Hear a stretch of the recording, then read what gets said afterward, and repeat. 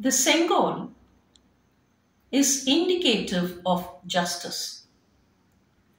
It is called the Rajdand, but it is the Niti Dand.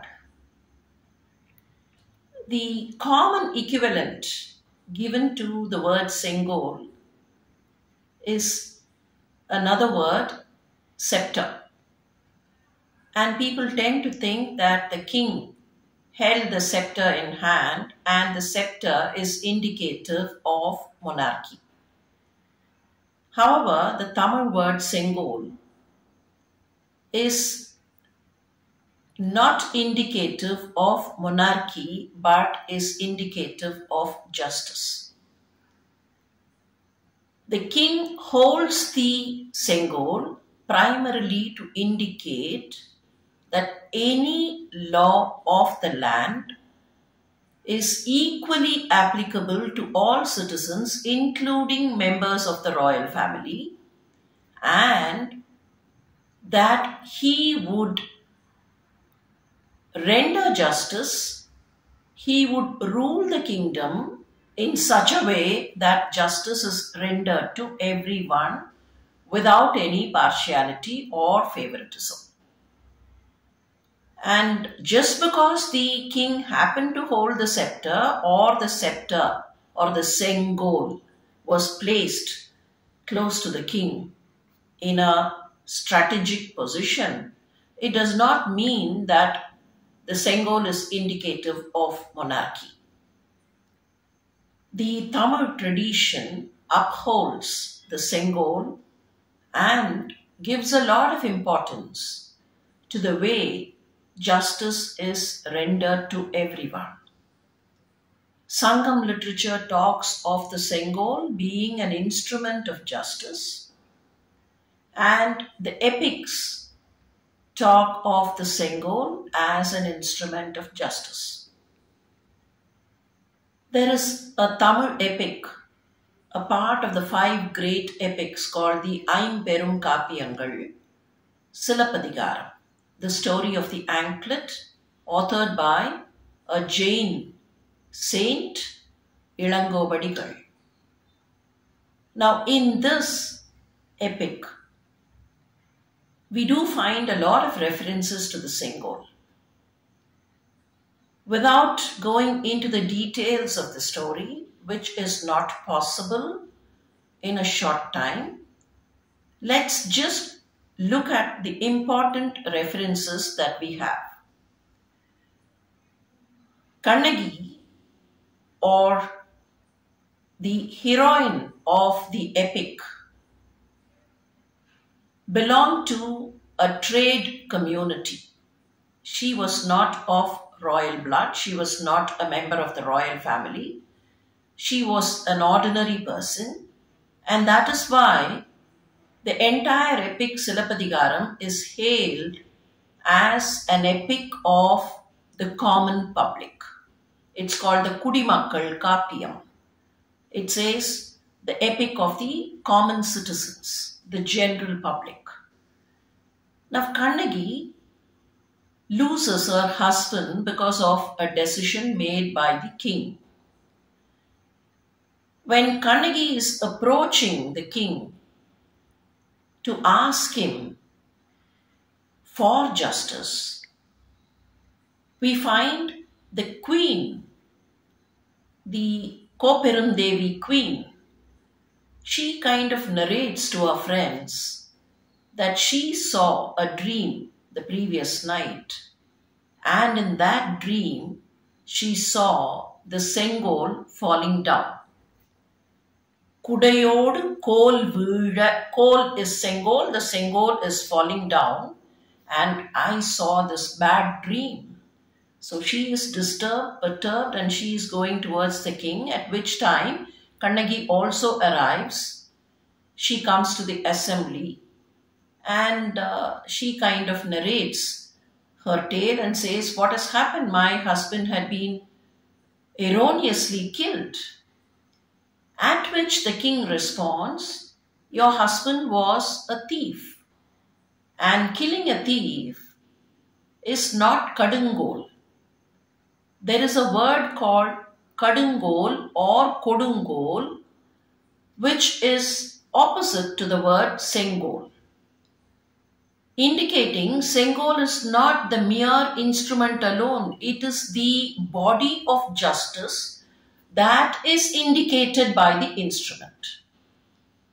The word kadungol or kodungol will indicate a rule where there are no proper rulers, a rule where anarchy prevails, a rule sans justice. In other words, the words Sengol and Kadungol and Kodungol are not related to the ruler but related to the rule itself, the rule per se, and the dispensation of justice, dispensation of whatever is required by the citizens. And if we see when Kannagi demands justice, the king says, We had to punish your husband because he was a thief. For which the king says, Kalvanai koral kadungol andru, killing or punishing a thief is not kadungol. So here what do we get? It is not related to the individual king, but then it is related to the act of rendering justice. And subsequently, when Kannagi proves with her anklet that her husband was faultless. The very moment Ilangovadigal, the author of the epic, says, the Sengol, which was installed next to the Pandya king, it fell down on its own. செங்கோல் தளர்ந்தது தாழ்ந்த குடையன் தளர்ந்த செங்கோலன் nobody kind of uninstalled the Sengol there at the very moment of Kannagi proving herself and proving her husband to be guilt free. The Sengol fell. So we now find the Sengol is not important because it is an instrument, but it is important because it is an instrument of justice. So Sengol indicates justice and Sengol is not indicative of the king or the queen or the system of monarchy. We call it the Rajdand and that is where the problem comes because it's associated with the word Raj. It is also the Niti Dand which means the rod of justice. It is the rod by which justice is rendered. And if we go into the word Raj itself, the Raj, the Raj will mean the nation, the Raj will mean the country, or Raja will mean the king. But then, what is the root word for this word Raja or Raj or the king.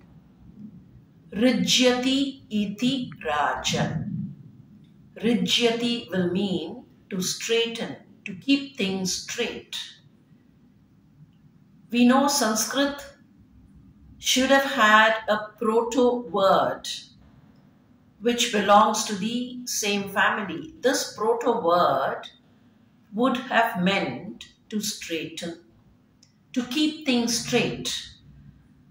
So, one who keeps things straight becomes a Raja. It is not that the Raja keeps things straight, but whoever does the Rijyati becomes the Raja. And keeping what straight? Keeping justice, keeping, you know, the rule straight. So we find it is the rule which gives rise to the Raja and it is not because the Raja that this has come. So, in other words, keeping things straight, keeping justice straight, rendering justice the right way, the straight way, the forthright way, is what the Sengol implies. And this is a civilizational value, a value that the Tamil tradition respects, regards very high. And this is related to all the Tamil literary works that we find.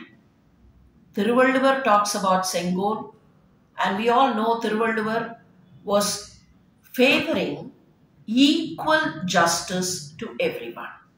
So that way, Sengol is indicative of justice.